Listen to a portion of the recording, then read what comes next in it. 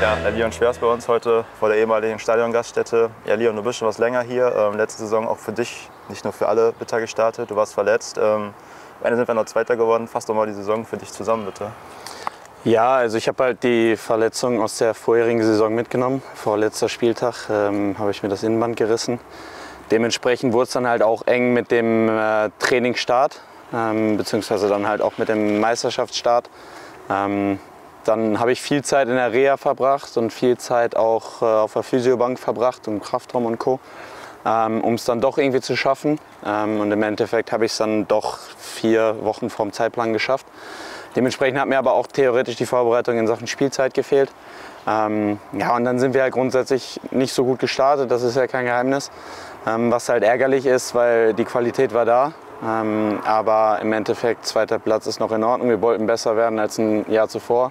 Das haben wir geschafft. Ähm, wir hätten auch noch ein Stück weit weiter angreifen können, aber im Endeffekt, wir sind einen Step nach vorne gegangen und das ist auch erstmal positiv.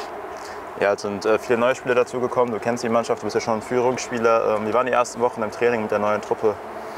Ähm, Erstaunlicherweise hat man das gar nicht so gemerkt, dass die Jungs so viel neu sind. Also die haben sich sehr, sehr schnell integriert. Natürlich ist das auch von beiden Seiten. Also die, die Mannschaft muss sich natürlich aufnehmen.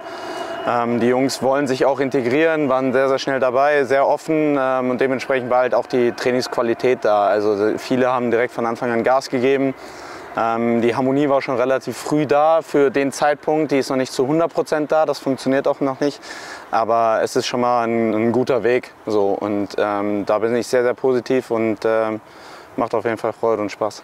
Was denkst du, was mit der neuen Mannschaft, sag mal neue Mannschaft, mit den neuen Mitspielern dieses Jahr möglich ist im Pokal und auch in der Liga?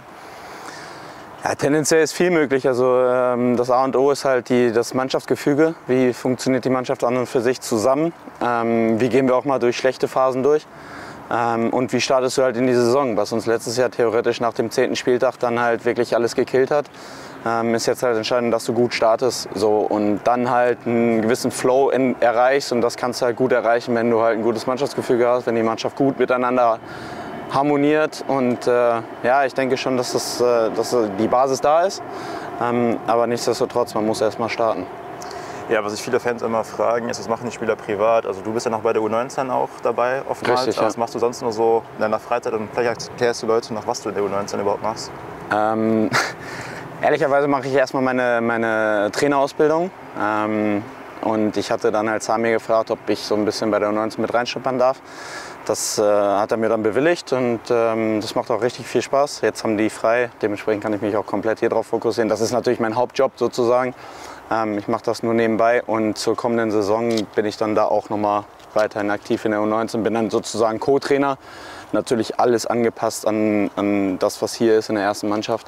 Wenn es englische Wochen gibt oder sowas, dann trete ich da natürlich ein Stück weit zurück. Ähm, aber da bin ich halt Co-Trainer. Und sonst ist halt, geht halt ziemlich viel Zeit mit den beiden Sachen drauf. Ähm, sonst habe ich halt ziemlich äh, viel auch mit meinem Hund zu tun. Ich habe noch einen Hund zu Hause und halt natürlich mit meiner, mit meiner Frau, ähm, die, mit der mache ich eigentlich so gut alles. So, und ähm, das ist halt irgendwie so ein Vierergespann aus selber spielen, Trainer sein, Hund und meiner Frau.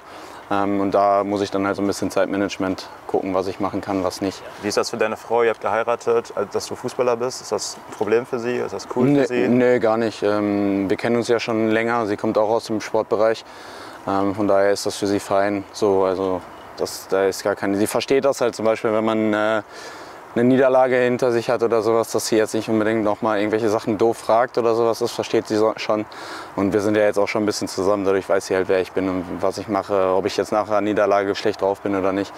Ähm, ich hoffe, das kommt jetzt in dieser Saison nicht so häufig vor, aber ähm, ja, Deswegen, ja. Als letzte Frage noch, du machst deinen Trainerschein gerade, machst den Co-Trainer beim Samia. Kannst du dir vorstellen, später, wenn deine aktive Karriere vorbei ist, auch den Weg einzuschlagen als Trainer vielleicht? Ja, voll und ganz, auf jeden Fall. Also deswegen mache ich das ja auch, weil ich hätte da auch schon Lust drauf. Aber wie gesagt, ich bin halt erst 27. Hoffentlich habe ich noch ein paar Jahre und äh, will erstmal selber kicken. Darauf liegt die Priorität und das alles andere ist erstmal nur Learning by Doing so ein bisschen. Ähm, und alles, was ich so mitnehmen kann, nehme ich mit. Und ähm, ja, dann mal schauen. Bis dahin habe ich hoffentlich noch ein bisschen Zeit.